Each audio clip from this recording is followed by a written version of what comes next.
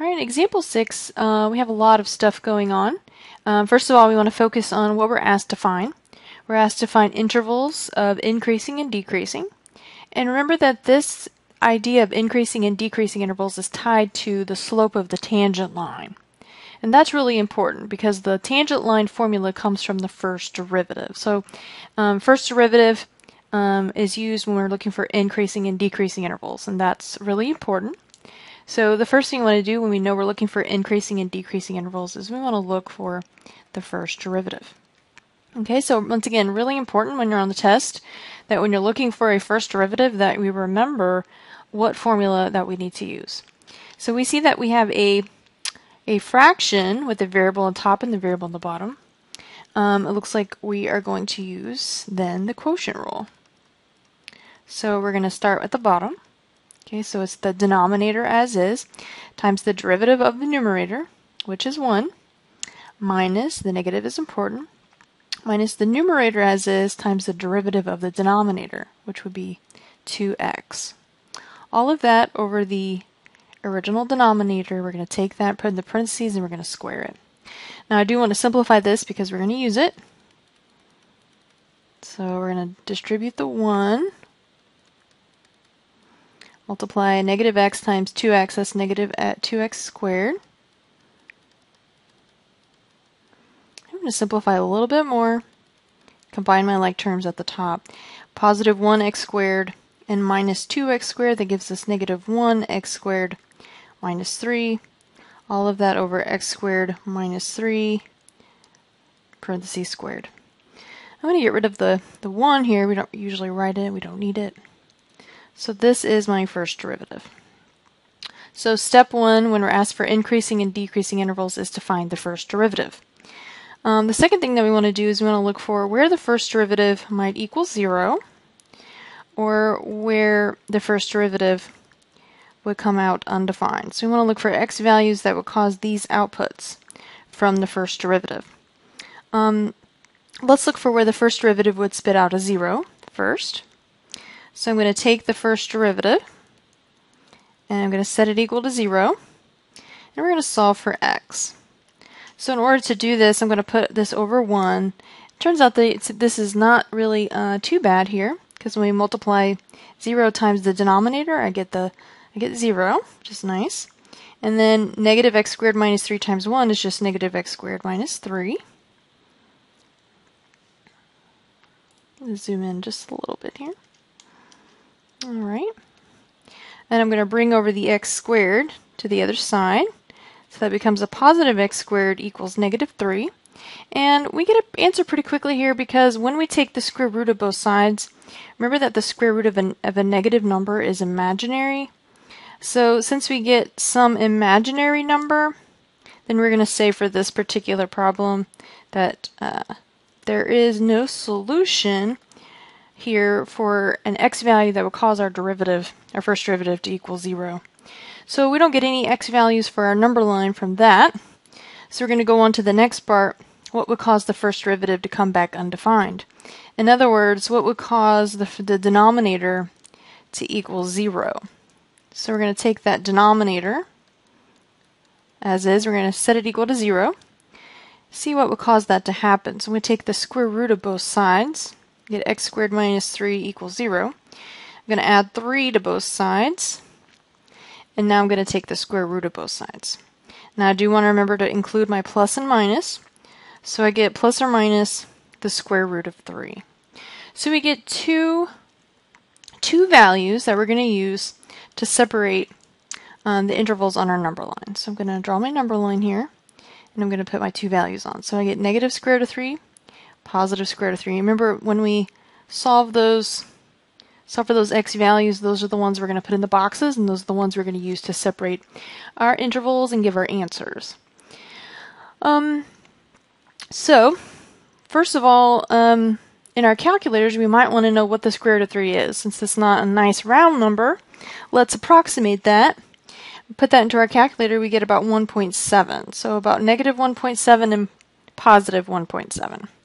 So I'm going to choose something to the left of that. I'm going to choose, let's say, negative 2 as my test value. Remember, step 3 is to write out your number line, choose some test values in and around. Okay, so we get negative 2. Scoot this up. Um, and in between a negative number and a positive number, we always have 0, which is really nice and easy. And then on the other side, let's go ahead and just choose a positive 2. Now remember what we're doing here, we're putting all of that into our first derivative. We're trying to find the slope at each one of these points. So What's the slope of the tangent line at negative 2? Um, so we're going to use our first derivative. Remember that's our slope formula. So we're going to put negative 2 in, and I'm going to use one of our, our little tricks that we've already used. Um, in the denominator, the denominator, the last thing that we do in the denominator is always square it. So our denominator will always come back positive. So for all of these, I can go ahead and just put that down, denominator, regardless of what I do here. Let's give ourselves a little bit more room for that one. Okay, our denominator will always come back positive, so do that. And what about the numerator? A little bit of thought about my numerator would tell me that my numerator would always come back negative. And you can plug it in. One thing you want to be careful about is this negative is not included as part of the squaring. So if I was to fill this out, it would be negative, and then that would be on the outside of the parentheses, squared, minus 3. If I put the negative 2 in the parentheses, order of operations would tell me that the first thing I have to do is take the 2, the negative 2, and square it. So that would give me 4. But the negative that's on the outside of that x squared, that's on the outside of that squaring, would come on down. So I would end up with a negative 7 over some positive value. A negative divided by a positive is always negative. What does that tell us about our intervals? Well, this interval, the slope, comes back negative, which tells me that I have the tangent lines going downhill from left to right, which tells me that my interval is decreasing. Um, when we plug in 0, once again, um, this one's actually really easy. I can go ahead and plug that in. We get 0 squared, which is 0, and then negative 0, which is 0. 0 minus 3 is negative 3 over a plus. So once again, a negative divided by a positive, we end up with a negative. A negative slope tells us that the tangent lines are all decreasing or going downhill from left to right in between our two boxes. Okay, positive 2 would do the same thing. We have our negative 2, um, negative on the outside of the squaring. So 2 squared would be 4. The negative that's out front would come on down. And we get the same thing we did before. We get negative 7 divided by a positive, which a negative divided by a positive is always going to simplify to be negative. So our tangent lines are going downhill, they're slanting downhill from left to right, so we have decreasing interval there as well. So can we say um, that we are increasing anywhere? So it looks like obviously we did not have any positive outcomes. So there are no increasing intervals for this entire function. So as we move from left to right, we're always decreasing. Now, can we say we're decreasing from negative infinity to positive infinity? Um, and to um, technically, no, we cannot because what is happening here? Do we have um, asymptotes or holes or what's going on? So let's look back. When we look at the original function, if we were to set the denominator equal to zero here, we would find that we would have to toss out two values. We would have to toss out positive and negative square root of 3, which tells me that when I'm looking at the domain, I would end up with some asymptotes there. So these are both asymptotes.